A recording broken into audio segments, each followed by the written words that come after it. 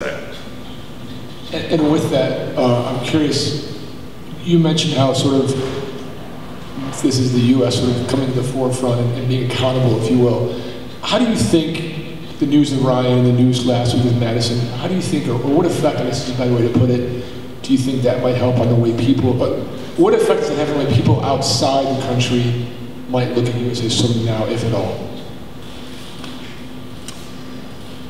You know, I, I, I don't, those are really, really difficult questions um, because it's to kind of depend on how the media spins it, to be totally honest. Like, that's, that's kind of the truth in today's day and age. Um, and again, like I, like I personally do feel like we're, these are,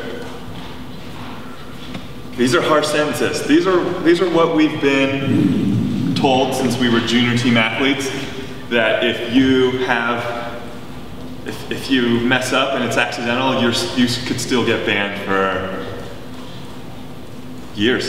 you know, and, and, here, here we are. Um, so those are the messages that have been, you know, pounded in our head, and they, they were true.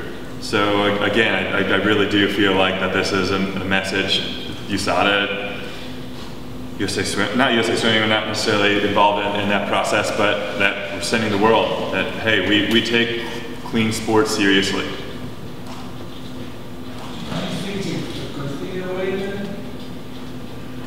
I would have preferred that this doesn't happen. like, certainly, certainly not. Um, I, I, I think that you know, there's going to be two sides of every coin, though, and um, you know, I, I think you, you talk to Madison and, and Lochte and maybe get maybe they get their takes on it, but um, they they probably understand. We all understand how harsh USADA is now on, on our American athletes.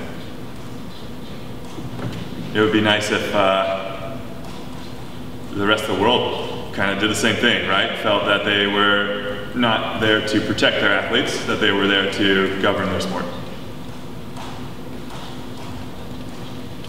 Anyone else? All right. Thank you, Nathan. Cool. Appreciate it, guys.